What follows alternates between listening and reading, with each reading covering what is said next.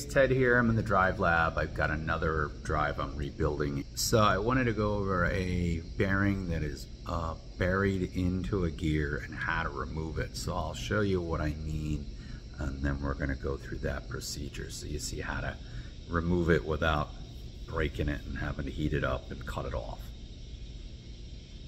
All right, so here's the bearing. So the bearing is recessed. It's basically got a slot in it and it's narrow on this end and it's wider on this end. So this is the bearing cage here and that bearing cage is, you can see the bearing's all rusty. So we're gonna take um, and we're gonna get in here with a screwdriver and we're gonna bend the cage up and then cut it. And then I'm gonna cut the top of it off. So what I'm gonna try to do is cut the cage off, all the rollers come off, and then I can get a bearing splitter. I'm gonna put it in the groove where these bearings fit.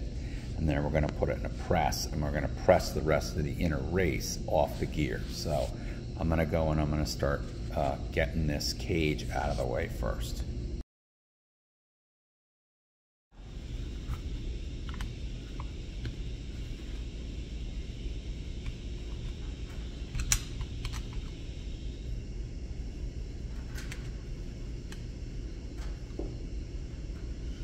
got a screwdriver in here. Just gonna take that screwdriver and kind of work it in there and then I'll get a, pair of wire cutters and I'll cut that cage off.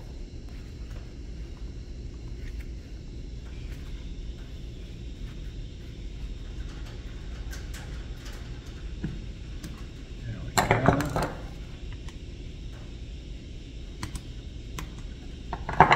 Now I want to cut the top cage off can.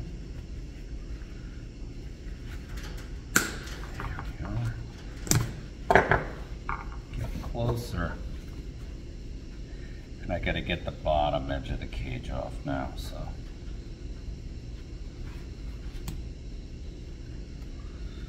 Get this, bend this up. There we are.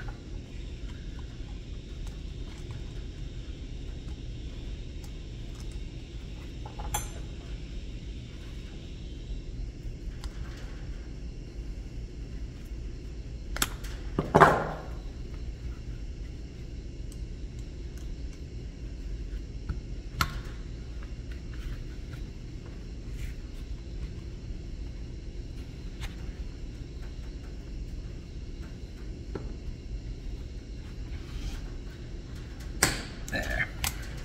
Okay. Is cut in half. Just bend it out to get all the bearings and everything out of there. Throw this all away. So now, this edge right here is what I'm gonna try to catch. So I'm gonna catch that with a bearing splitter because you can see it's bottomed out. I can't get under there to get that bearing out. So I'm gonna put the bearing splitter on here and try and pull that bearing out press. They usually come right off, so I suspect it'll come off pretty easy.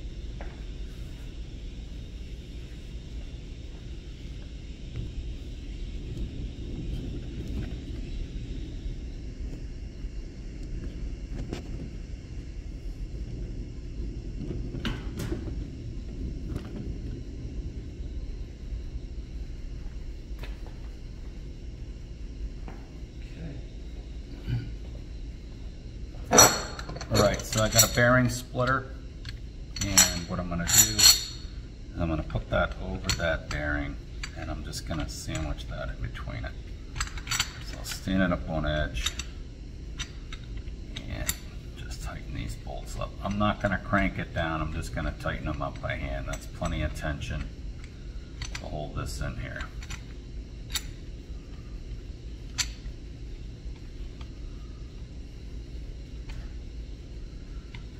one side the other side. There we go. So we got it on the two sides and then I'm going to put on a press this here and here and then I'm going to press that gear right out. So when I do that I want to make sure that this gear will fit through the press or if it's not going to put fit through the press I'll put it on top of something. So it'll fit through like that. And then I can put that on the press and I can press the gear out. I'll probably have to raise this up a little higher.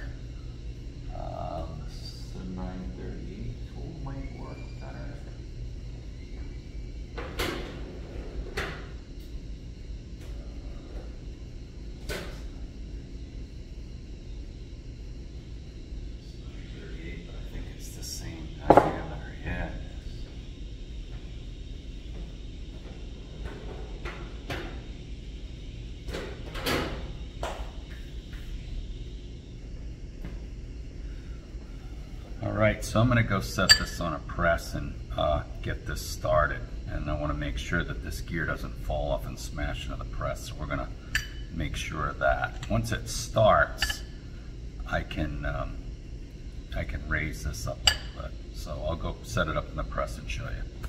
Okay, we're just about ready to start. I got my professional um, optometrist safety glasses. These are OSHA approved.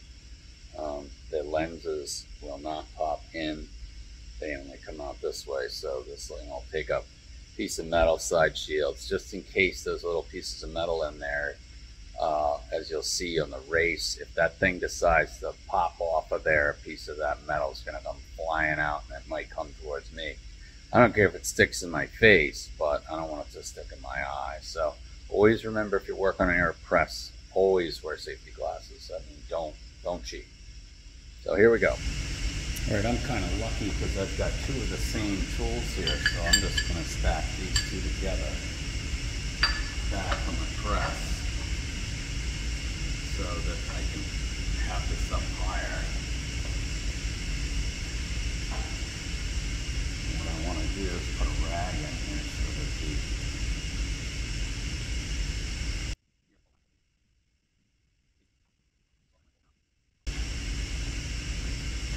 put this back in here like that.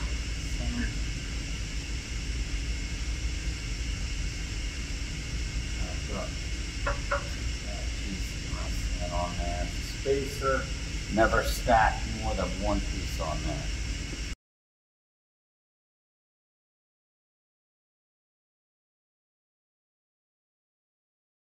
Getting pretty close, as you can see. So now I gotta get a mandrel to fit in here. Another special pull that'll fit in there so I can press it the rest of the way out of the bearing. So I'm gonna go get that set up.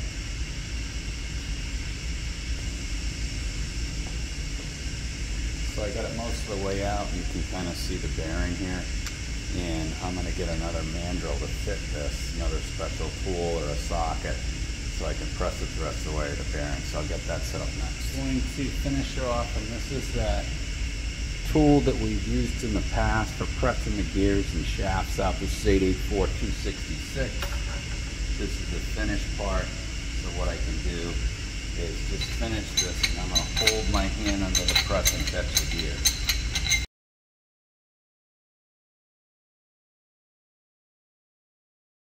You could press this all the way out if you want to set the press at the beginning and press it all the way out. I just like to support the uh, bearing splitter a little more. So the gear is fine. There's nothing wrong with the gear. I'm just pressing new bearings on because they got water in them and they're rusted up. So we're going to put new bearings and put it back together. All right, I'm getting ready to press. This is that input gear off a DPS off the pinion. So I got the two bearings. I got to do a full rebuild here because the bearings and the races are bad. So I got to press the race in this end and have to press the race in this end. Right. So I've cleaned this up. That's ready to go. And here's the one thing you want to make sure that you do is when you're going to put this back together, be careful because you got to make sure you put the large bearing on the gear first, not the small bearing because it is not recessed. If you push this bearing on, it extends out and it'll fit in that recess. If you accidentally press this bearing on, you'll destroy the bearing because it's going to bury into here and you're going to hit the cage. So just be careful when you're doing that.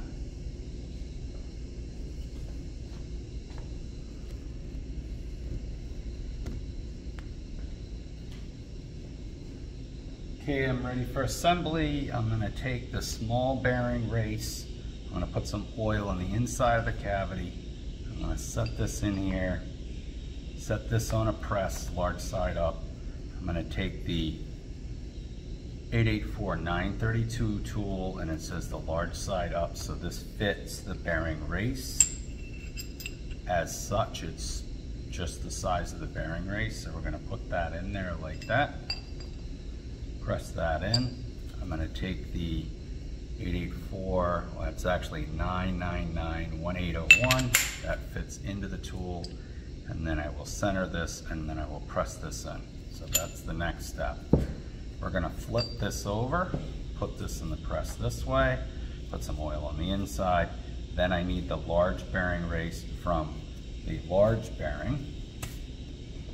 And I'm gonna take the large bearing race and I'm gonna put that in the case like this, get it centered.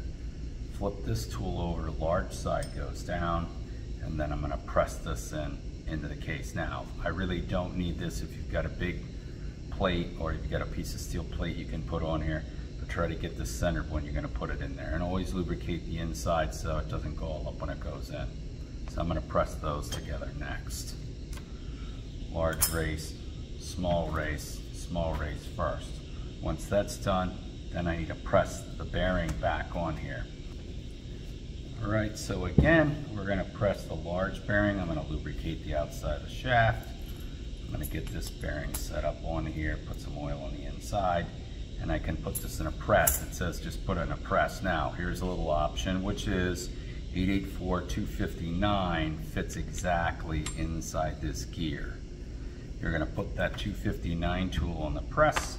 You're gonna center this onto that to make sure it's sitting on top of it and then we can put the bearing on here and then I'm going to take this 884-263 tool, I'm going to press that bearing all the way down onto the sleeve. So I'm going to go press this all apart. I'll get it set up and give you a little show and tell on that too. Okay, so we got the press. I've jacked it up to the right height. I've got my bearing. I've got some oil on here. I've got my 259 tool and I my gear's centered on that I'm going to take that 263 tool and slip it in here and don't let go of it. And I'm going to get that centered, just hold it in position so it doesn't move, tighten up the press. And then get it, get center into the race.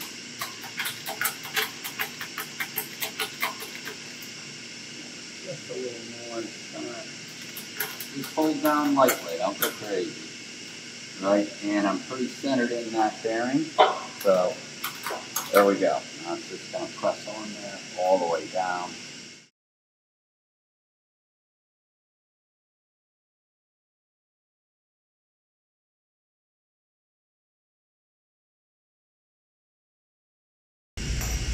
Tool off bearing, you get it all set ready to go. So what we're going to do now is we're going to do that reassembly. We're going to put a new pre-tension sleeve here and the other bearing into the housing and then press it back together. I showed that in a previous video, but I wanted to show you actually pressing a bearing onto a gear.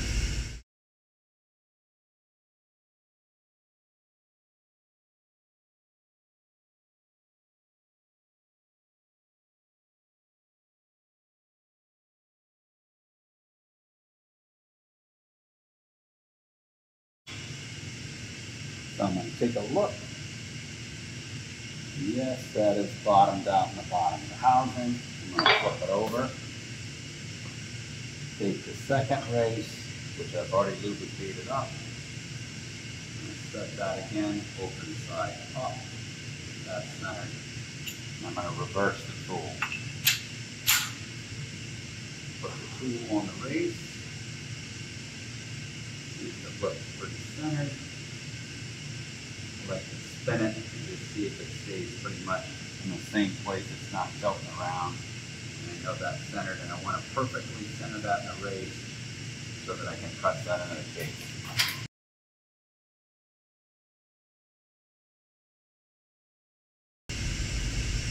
Look in there and yes, that's bottom. Hey, put a little oil in the bag.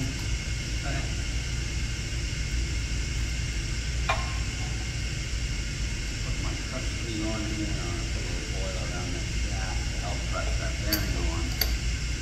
And we're going to put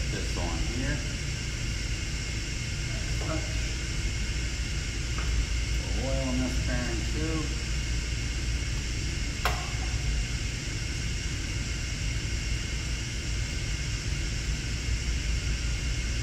Inside of the race.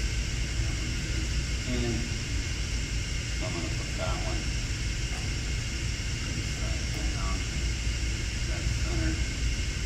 And I'm gonna use the 263 tool to press that bearing down on that shaft.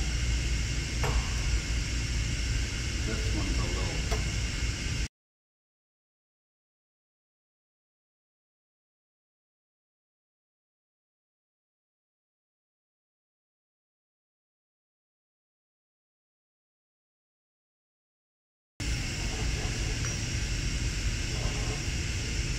There we go. Perfect. All sorry for the audio. It's terrible. I've got a, HVAC belt noise in that lab where the press is, and man, they haven't fixed it. I got a squeaky one in here too, so someday maybe somebody will come and fix that. Right, so that's the end of getting this ready.